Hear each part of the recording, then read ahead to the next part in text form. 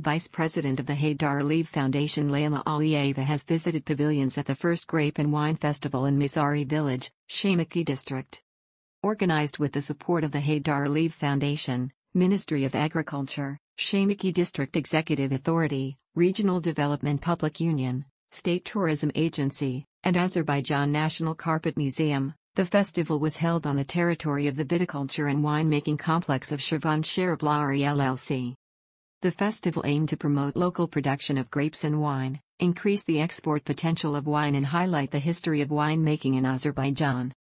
Vice President of the Heydar Aliyev Foundation Leyla Aliyeva met with local winemakers and viewed pavilions arranged as part of the festival.